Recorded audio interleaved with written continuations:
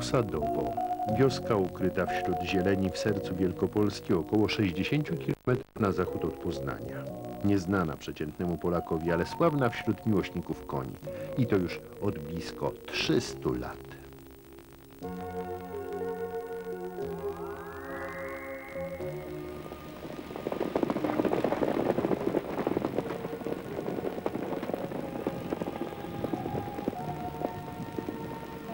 Znajduje się tu bowiem stadnina koni, jedna z największych i najstarszych w Polsce. Słynie ona nie tylko z bardzo dobrych koni, ale także z zaprzęgów.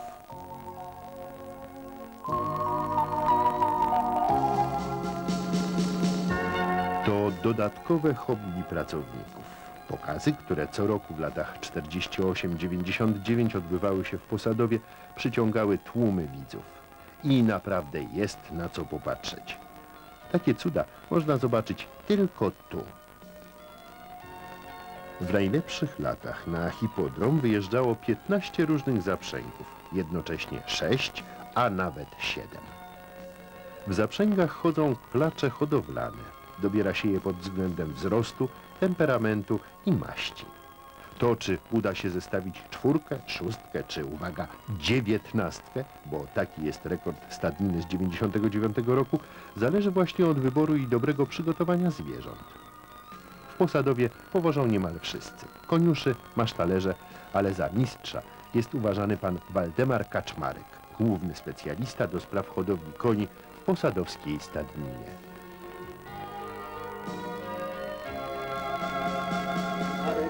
direkt, ja.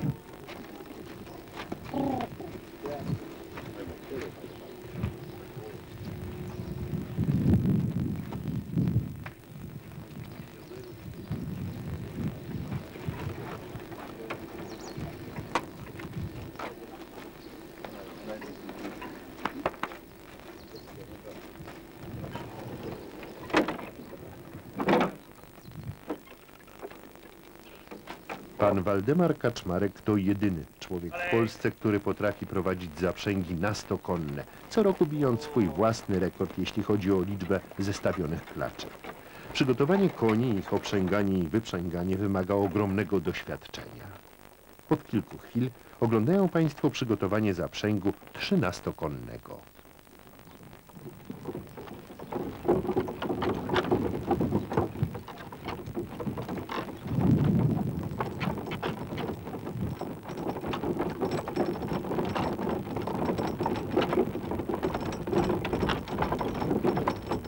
Teraz mają już Państwo okazję zobaczyć popis koni.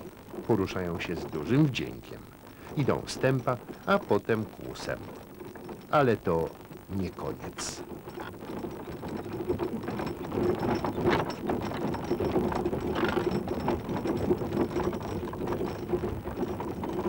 Wystarczy popuścić lejce, krzyknąć hop i konie ruszają z kopyta. Pełen galop, aż szumi w uszach. Konie mkną niczym wicher. Ponieważ niewielu z Państwa miało okazję oglądać posadowskie pokazy, zachęcamy do pozostania z nami. Pracownicy stadniny przygotowali kilka zaprzęgów specjalnie dla Państwa. Będziemy je mogli podziwiać w tym właśnie programie. Ale cofnijmy się teraz o lata. Mało kto bowiem wie, że historia hodowli koni w Posadowie sięga XVIII wieku i jest związana z właścicielami tutejszego majątku, rodziną Łąckich, herbu Kożbok. Pierwsze wzmianki o tutejszej stadninie pochodzą z 1777 roku. Hodowlę koni na dużą skalę zapoczątkował w tej rodzinie Melchior Łącki, postać niezwykle barwna, szlachcic z fantazją, rozmiłowany w koniach. Hodował on konie orientalne, siwe, z czarnymi grzywami i ogonami oraz z czarną pręgą na grzbiecie. Źródła podają, że dla własnej hodowli trzymał Melchior stado stu ogierów w Sierakowie i wyekwipował tam własny pułk kawalerii wystawiony za księstwa warszawskiego. Na tych arabskich siwych koniach maszerowali trębacze pierwszego pułku lekkokonnych gwardii napoleońskiej, przebywając drogę z Poznania do Warszawy, potem do Madrytu i stamtąd przez Warszawę do Moskwy.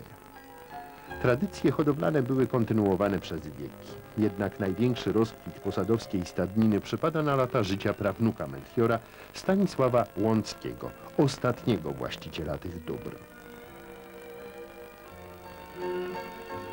Mało kto wie, że w dwudziestoleciu międzywojennym w Posadowie znajdowało się największe prywatne stado hodowlane nie tylko w Polsce, ale i w Europie Środkowej.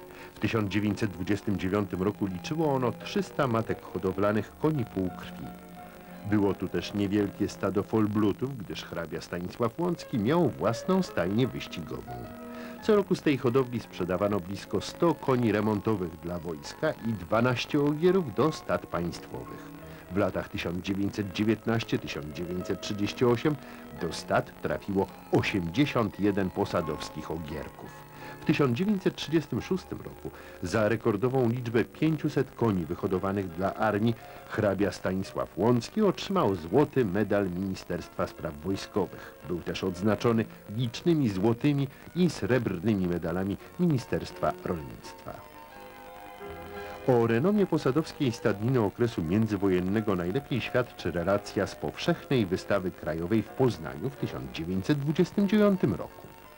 Stado Stanisława Hrabiego Łąckiego z Posadowa na wystawie miało 69 koni, które zdobyły 44 nagrody pieniężne oraz 9 państwowych nagród honorowych. Stado wyróżniało się spośród innych wielkopolskich tem, że miało konie typu suchszego i lżejszego, aczkolwiek kaliber całego stada był całkiem dobry. Tę suchość zawdzięcza stado zastosowaniu w ostatnich czasach ogierów pełnej krwi oraz orientalnych, którymi bardzo umiejętnie uszlachetniano całe pogłowie, nie zatracając walorów osiągniętych dawniej. Do wybitnych hodowców koni należał także brat Stanisława Stefan Łącki. Jego stadnina w Lwówku, podobnie jak Posadowska, dostarczała koni powstającym na początku 1919 roku pułkom ułanów wielkopolskich. Hrabia Stanisław Łącki zmarł bezpotomnie w 1937 roku. Jego majątek odziedziczyli dwaj siostrzeńcy, bracia Tyszkiewiczowie, Józef i Felix. Po wojnie dobra rodziny Łąckich przejęło państwo. Od razu były tu doskonałe warunki do rozpoczęcia hodowli koni, choć z posadowskiego stada lat 30. nie pozostało niemal nic. Zaledwie 18 klaczy. Początkowo nazwa stadniny brzmiała Państwowa Stadnina Koni Lwówek, gdyż gospodarstwo w Posadowie było zajęte przez wojska radzieckie. Jednak rok później placówka uzyskała swoją obecną nazwę. W latach 1946-50 stała w Posadowie stadnina Janowska. W Janowie Podlaskim, zrujnowanym w czasie działań wojennych, nie było warunków do hodowli koni. Z tego okresu bardzo skorzystała posadowska załoga, która uczyła się wielu rzeczy od janowskich masztalerzy. Między innymi to oni przekonali tutejszą obsługę do wychowu koni w biegalniach. Te budynki zbudowali okupanci jako prowizoryczne baraki. Przetrwały do dziś i są doskonałym lokum dla koni.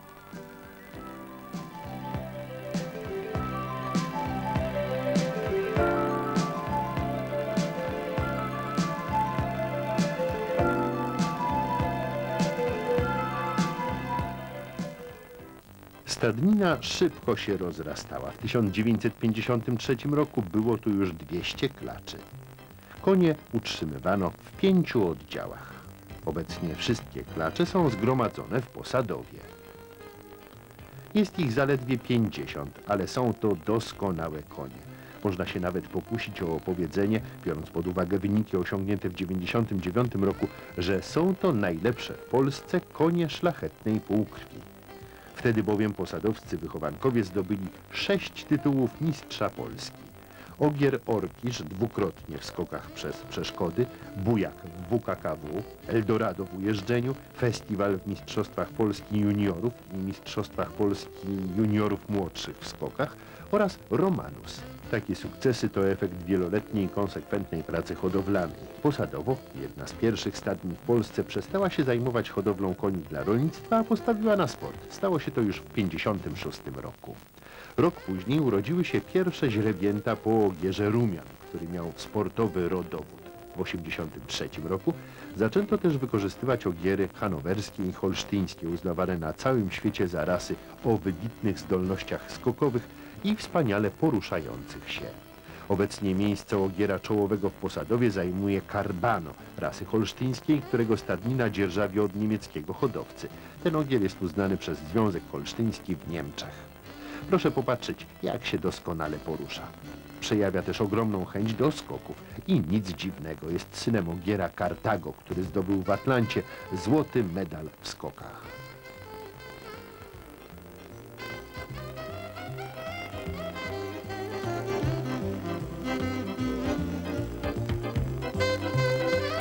Sukcesy osiągane przez konie posadowskie i hodowli to nie tylko zasługa właściwego doboru ogierów, ale także ogromnych wymagań, jakie stawia się klaczom wcielanym do stada matek.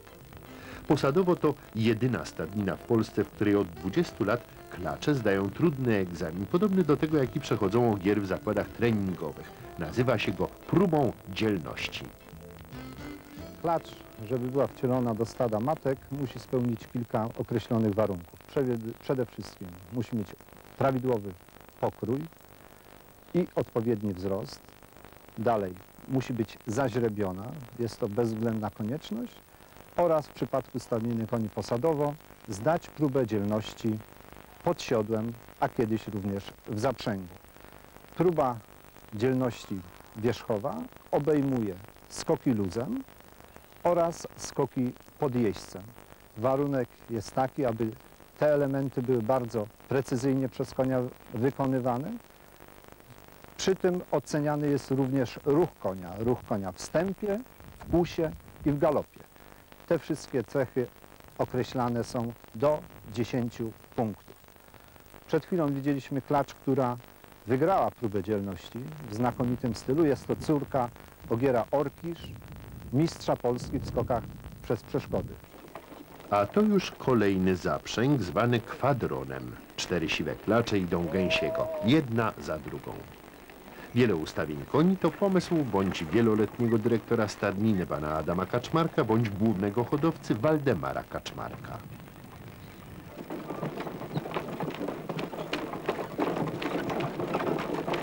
O, kłos.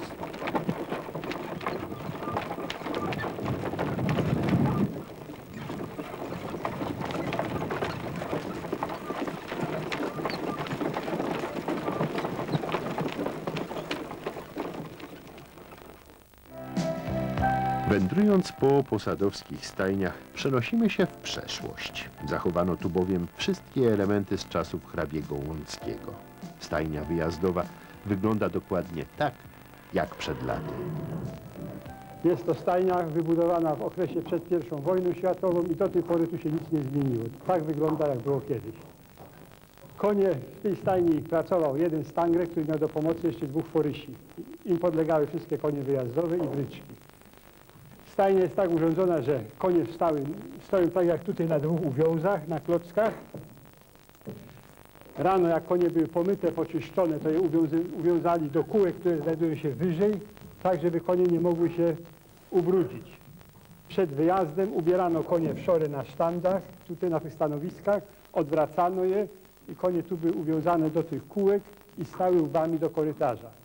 Także jak przyszło zakładać konie, to było bardzo szybko, jeden człowiek szedł i te konie sobie zabierał i do powozu i mógł jechać. No i na razie tak samo tutaj to użytkujemy tą stajnię, staramy się nic nie zmienić, żeby było tak, jak było kiedyś. A to jest moja ukochana kobyła, klacz czumka. Bardzo ją lubię. Obok stajni wyjazdowej znajduje się szorownia. Zgromadzono w niej ponad 70 uprzęży, szorów i homont. Wszystkie to ręczna robota okolicznych mistrzów rymarzy.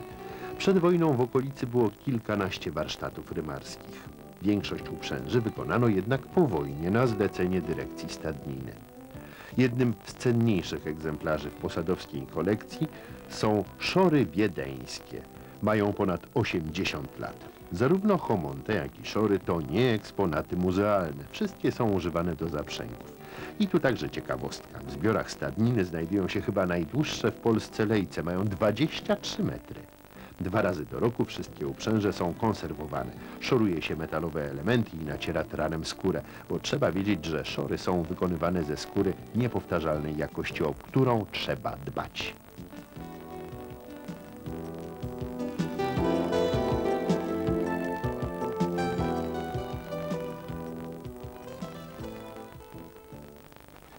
A to już kolejny zaprzęg, kolorowa czwórka, w której zestawia się konie różnej maści.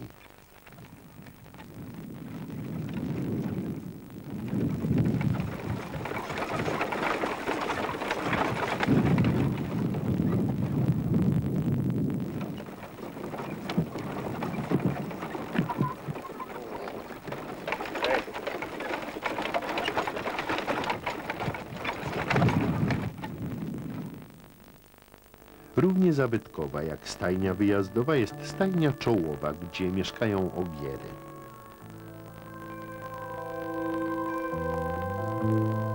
Oba budynki pochodzą z przełomu wieków. Piękne sklepienia, kamienne posadzki, ozdobne kraty w drzwiach i oknach.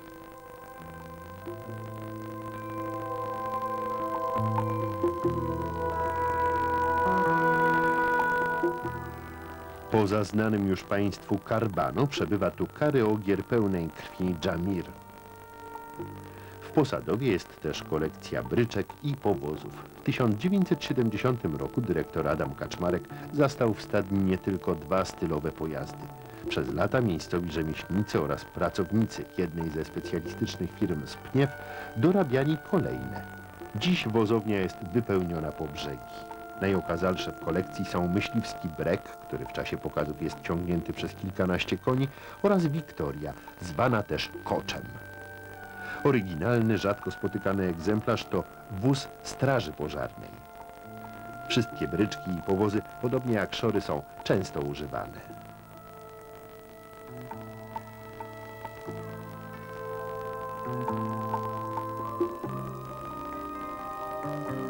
Jak na przykład ta sulka.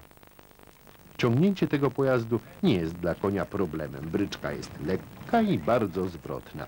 Jednak jak w wypadku każdego zaprzęgu, powożący musi mieć dużą wprawę.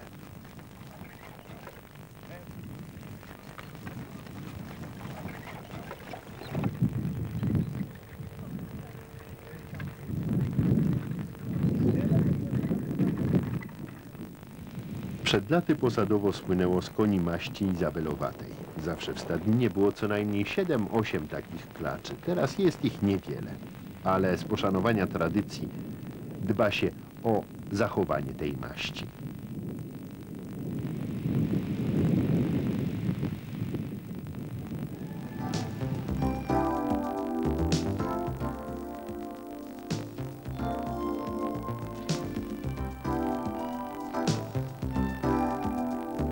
Ta siwa klacz, która czujnie rozgląda się po pastwisku, to Rajka. Jest przedstawicielką najliczniejszej rodziny w Stadninie i przewodniczką w swojej grupie. Trudno wskazać najlepsze klacze posadowskiej hodowli. Wybór jest naprawdę niełatwy, dlatego te, które Państwo za chwilę zobaczą, to przedstawicielki reprezentujące całe, bardzo wyrównane stado.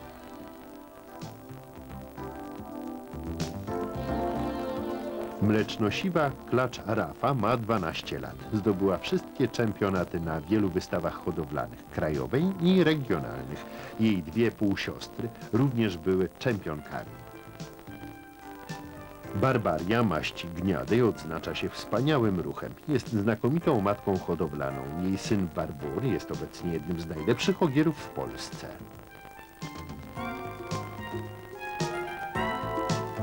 Ciemnogniada integracja jest córką Orkisza, ogiera hodowli posadowskiej, mistrza Polski w skokach przez przeszkody. Również wspaniale się porusza. Rachena to jedna z nielicznych już w stadninie klaczy wielkopolskich. Spełnia wymogi wpisu do księgi koni trakeńskich. Jej ojcem jest ogier pełnej krwi Wolverer Heights. Ta kasztanka ma 4 lata, znakomicie biegała na torze wyścigowym. Tak, posadowskie konie biegały również na torach wyścigowych, przede wszystkim we Wrocławiu i odnosiły sukcesy. Dowód to kolekcja szarf i dyplomów zdobytych za zwycięstwa na derby koni półkrwi.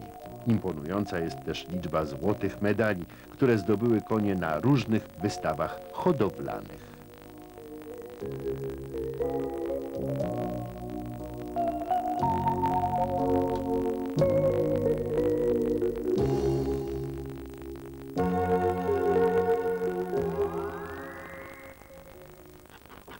Ale czas, by obejrzeli Państwo kolejne zaprzęgi. Piątkę węgierską z gniadymi końmi i hiszpańską z siwymi. Przy okazji warto wiedzieć, że rdzeniem każdego zaprzęgu jest czwórka.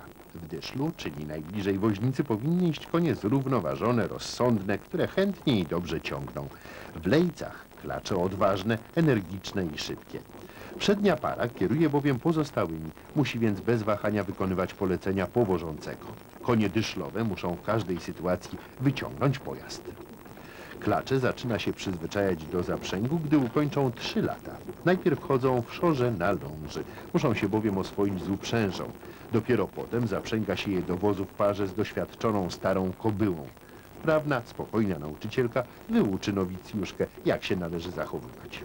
Dopiero gdy się okaże, że klacz jest spokojna i posłuszna, dobiera się pary, a gdy te przyzwyczają się do siebie i nauczą razem chodzić, składa się czwórki.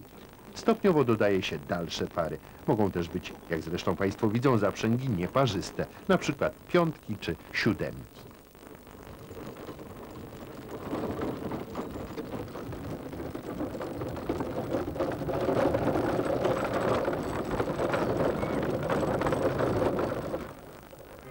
Inną ciekawostką, którą można zobaczyć tylko w Posadowie jest oryginalny wóz drabiniasty. Konie są ubrane w szory robocze. Stosuje się tu tradycyjny, fornalski sposób wiązania uprzęży.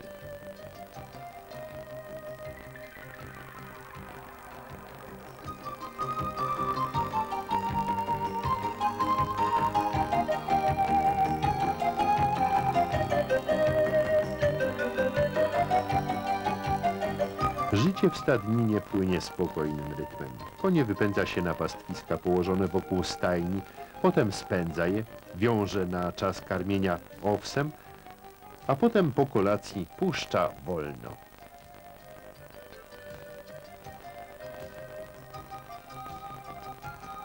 Niezapomniane wrażenia pozostawia widok klaczy ze źrebiętami. Więź między matką a maluchem jest wzruszająca. Źrebie nie odstępuje klaczy na krok, a gdy w pobliżu pojawia się ktoś obcy, chowa się za mamę i wtula w jej bok. W takiej stajni można stać godzinami i przyglądać się zwierzętom.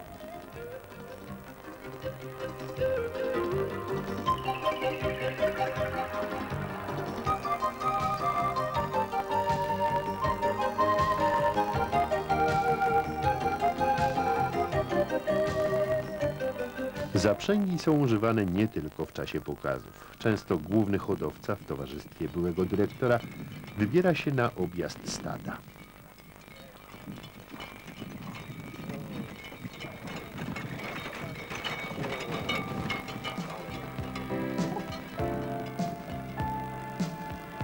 Najczęściej zaglądają do młodych ogierków, dumy tej stadniny. Niedługo pojadą one do zakładu treningowego, a potem po pomyślnym zdaniu egzaminów znajdą się w stadach ogierów. W latach 1988-1999 do stad sprzedano 147 wychowanków.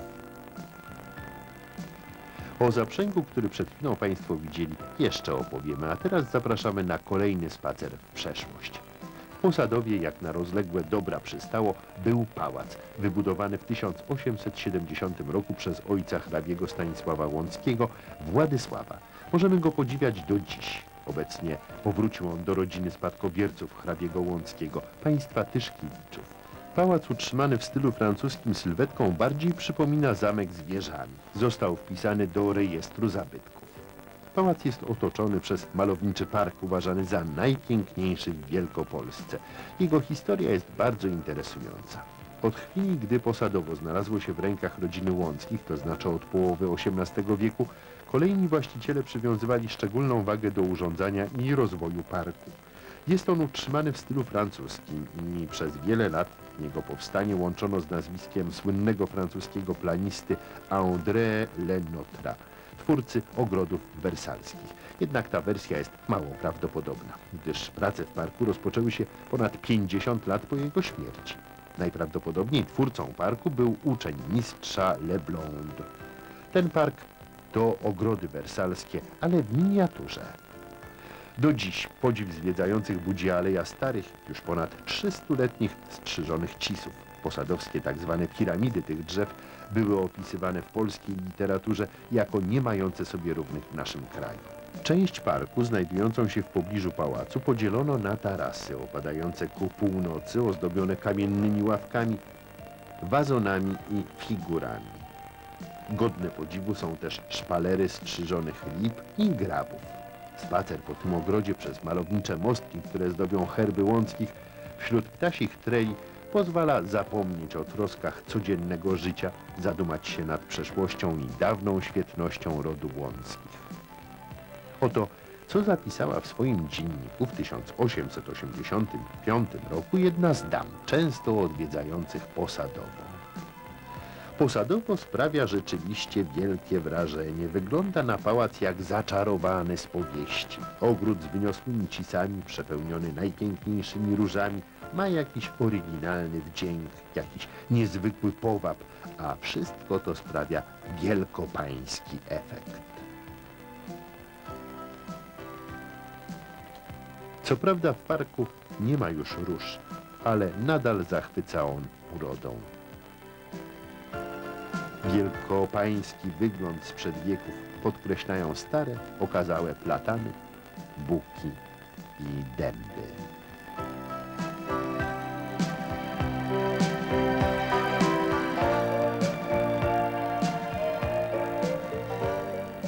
Obiecaliśmy Państwu opowieść o tym zaprzęgu. Nosi on nazwę Bałagulskiego.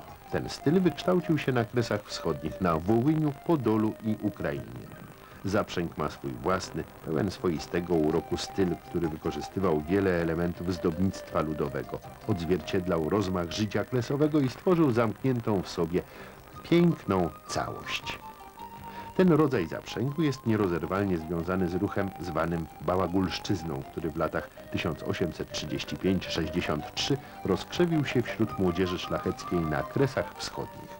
Najbardziej charakterystyczną cechą bałagułów było negowanie elegancji w ubiorze i zachowaniu, gardzenie wszystkim, co kwalifikowało się do tak zwanych wyższych sfer. Jednocześnie bałaguli z wielką starannością tworzyli własną modę i styl. Przykładem są zaprzęgi. Nie zwracano uwagi na urodę koni, przeciwnie, im brzydsze i dziwaczniejsze, tym lepiej. W czwórce częstokroć każdy koń był innej maści. Starano się wynajdować jak najbardziej cudaczne umaszczenia. Bałaguli chcieli bowiem, by ich zaprzęgi wyróżniały się od eleganckich powozów.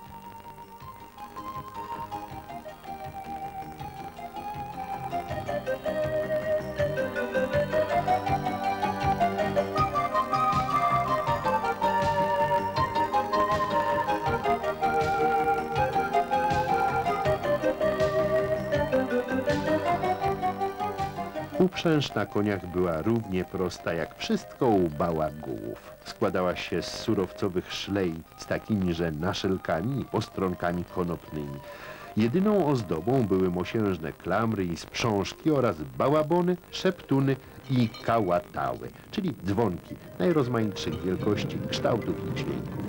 Za ich pomocą dawano z daleka znać, czyj zaprzęg jedzie. Było je słychać z pół mili. Z doboru tonów uczyniono cały kunszt, któremu oddawano się z zapałem i zamiłowaniem, godzinami wybierając dźwięki. Charakterystyczne są także wózki bałagulskie. To proste bryczki zwane perekładną na drewnianych osiach. W zaprzęgu bałagulskim konie skrajne, zwane orczykowymi, napędzają tylną oś wózka, a dyszlowe środkowa para przednią. Posadowie udało się zachować styl bałagulski. Dźwięki dzwonków rozlegają się w całej okolicy. Taki zaprzęg to obecnie rzadkość. Szkoda, że rok 99 był ostatnim, w którym w Stadninie zorganizowano pokazy zaprzęgów. Jedną z wielu atrakcji tego show był skok przez płonącą obręcz. Wyspecjalizowała się w tym klacz czunia. Przygotowanie konia do wyczynu jest nie lada sztuką. Konie bardzo boją się bowiem ognia. By wykonać zadanie, muszą mieć pełne zaufanie do jeźdźca. Skok przez płomienie wygląda imponująco.